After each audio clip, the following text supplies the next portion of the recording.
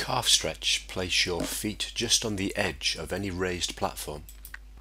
Cross the other leg over. Stretch the calf by forcing the heels down.